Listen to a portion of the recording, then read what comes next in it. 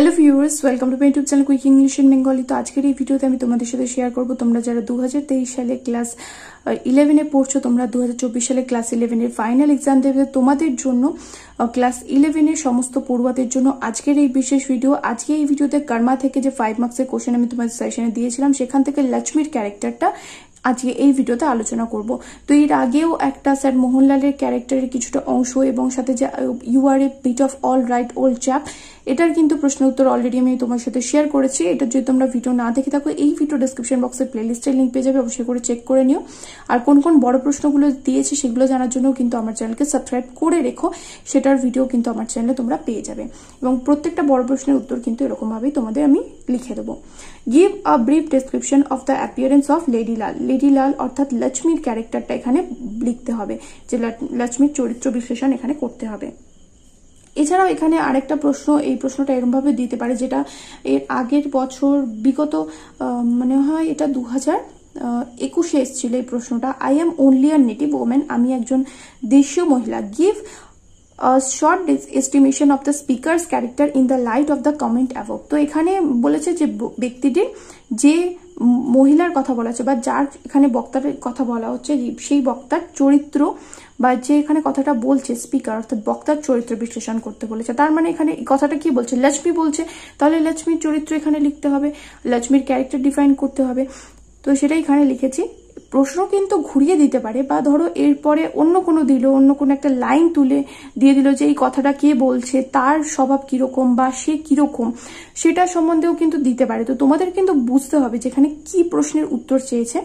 তো সেরকমভাবেই আমি এখানে লিখে দিয়েছি, Ladilal is a simple native Indian woman Ladilal হলেন একজন সাধারণ দেশীয় ভারতীয় মহিলা। শি ইজ শর্ট, সে হচ্ছে বেটেঘাটো, ফ্যাট এবং মোটা সোটা and in her middle forties এবং সে তার চল্লিশ বছরের মাঝামাঝি বয়সে রয়েছে। At first we find her in on a railway railway platform asking for a zenana inter class আমরা প্রথমে দেখতে পেলাম যে সে রেলওয়ে প্ল্যাটফর্মে রয়েছে এবং জেনানা ইন্টার ক্লাস কোথায় সেটা জিজ্ঞাসা করছে মানে মহিলাদের কামরাটা কোথায় সেটা সে জিজ্ঞাসা করছে। She was wearing a dirty white sari with a red border এবং সে কি পরেছিল? একটা নোংরা সাদা শাড়ি পরেছিল যার কিনা লাল পাড়। অর্থাৎ লাল পাড় হলো সাদা শাড়ি, একটা নোংরা সাদা শাড়ি সে পরেছিল।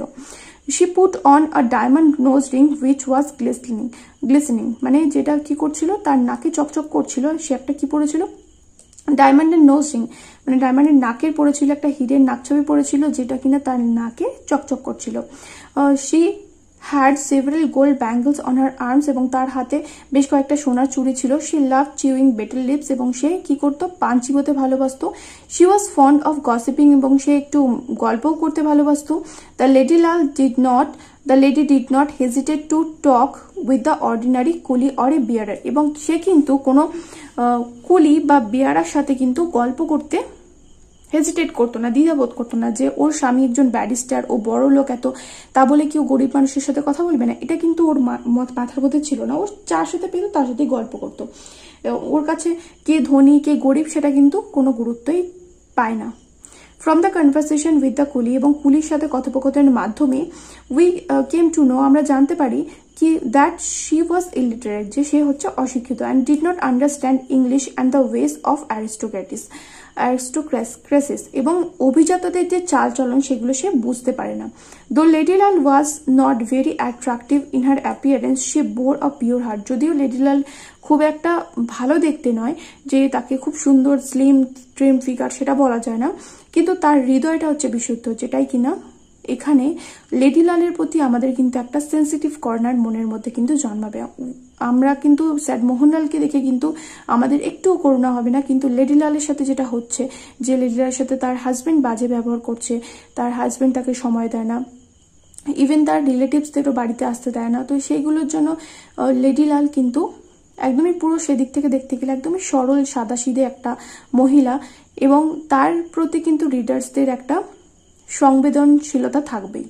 তো এই প্রশ্নের উত্তরটা এখানে লিখে দিলাম। যদি তোমরা আরও কোনো প্রশ্নের উত্তর আমার কাছে চাও, যেটা আমি সাজেশনে দিইনি, তাহলে কমেন্ট করে জানিও এবং সেই প্রশ্নের ভিডিও আমি কিন্তু আলাদা করে বানিয়ে দেবো।